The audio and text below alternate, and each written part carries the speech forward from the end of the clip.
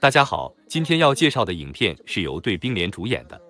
阿莲是一位二十七岁的新人妹子，在影片中，她是一位英文女老师。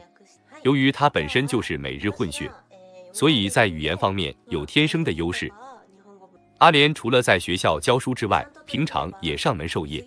小王同学因为马上要考大学了，所以特地请阿莲老师来家里辅导。小王的父亲老王对阿莲表示非常感谢。还说自己儿子小王很笨，请阿莲多费心，并且还夸阿莲长得漂亮，英文又好。说着说着，就问阿莲要不要当自己的女秘书，还会给她很高的薪水。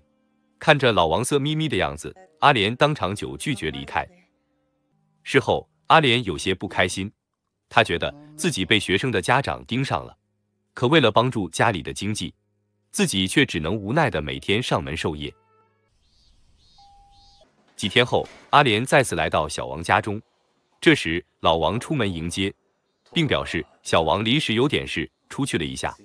阿莲听后，本来想离开，老王急忙挽留他，说他来都来了，就一起聊天吧。看着阿莲不情愿进屋的样子，老王的眼里闪现出了狼一般的绿色目光。果不其然，老王趁着与阿莲独处的机会，开启了霸王硬上弓模式。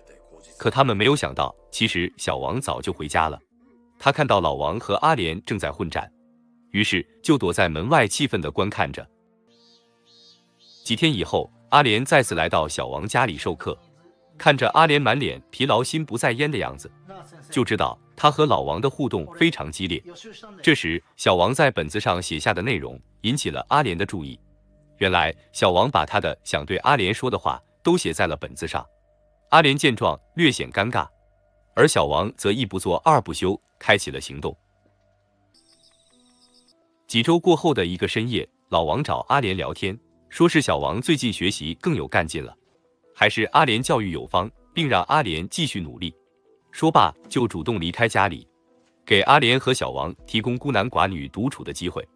老王离开家后，小王马上出现，他激动地对阿莲表示，今晚要彻夜学习。可小王不单单是自己学习，他还叫来了好友铁蛋。人多才能激起学习的激情和乐趣。那一夜，阿莲第一次发现，原来学习也是需要体力的。渐渐的，阿莲来小王家里的次数越来越频繁。这天，三人在客厅聊天，老王表示小王近来进步很大，小王则表示都是阿莲老师教育有方。老王听后也想见识一下阿莲老师的教育方法。于是也让阿莲教自己学习。小王一听，坚决反对，说阿莲教自己已经很忙了。阿莲看着王氏父子俩猥琐的笑容后，伤心的流下了眼泪，因为老王总是让他加班，却不给加班费。